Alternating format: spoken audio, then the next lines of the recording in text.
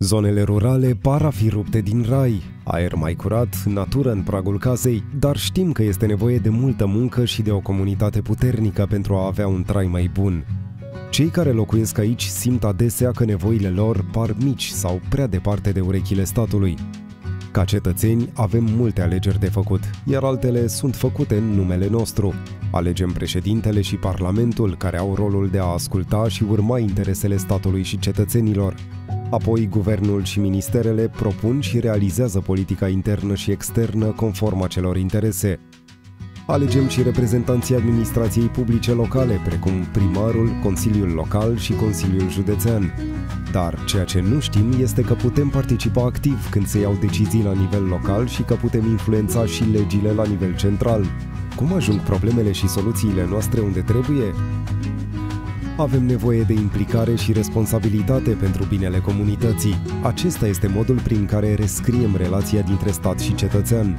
Această relație presupune atât din partea cetățeanului cât și a autorităților comunicare, participare, transparență, responsabilitate și egalitatea șanselor pentru consolidarea încrederii reciproce. Este o acțiune publică eficientă în favoarea dezvoltării.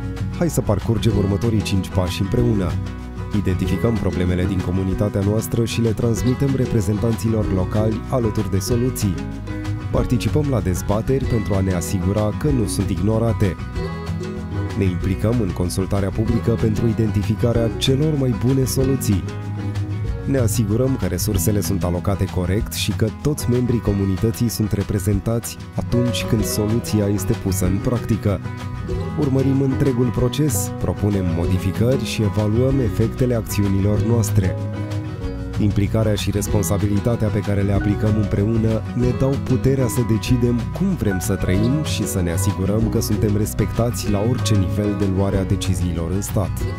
Acum știm cum putem contribui la bunăstarea comunității noastre. Trebuie doar să facem câțiva pași împreună.